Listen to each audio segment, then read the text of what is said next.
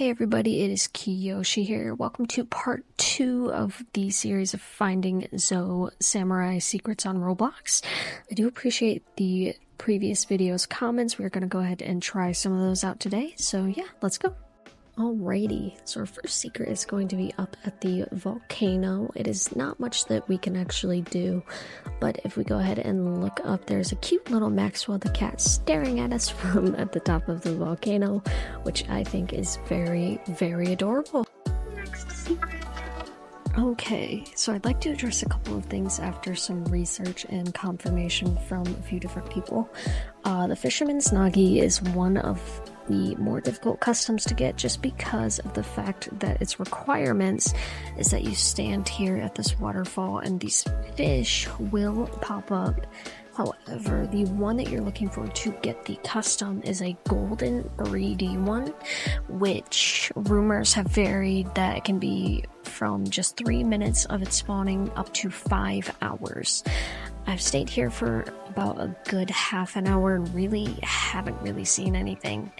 Um, so I don't think I have the time just to sit here and try and wait to get it, but um, do of that knowledge what you will. The second thing I wanted to address was also in my comments is about a scarecrow morph uh, that looked like last year's um, Halloween event.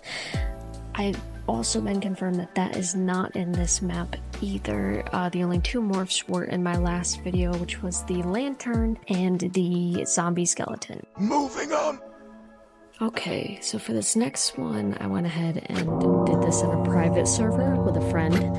Um, I highly suggest doing that because if you don't, you may run into some problems. Um, but essentially, all you are doing here is as long as both you and somebody else can hit the bell and the gong at the same time, it will spawn Lord Nobu at the volcano. He is a boss NPC as long as you fight him, just like I am here. You can get a weapon, either the Sunrise Katana or the Neon Kanji, which are both the weapons that he is holding. And as you can see, I got the Sunrise Katana. We will go ahead and take a look at that here. And yeah, that is today's video. I do appreciate all of the support that I got in my last video. Please uh, keep liking, subscribing, and hopefully I'll be able to come out with more content for you soon. But uh, yeah, peace.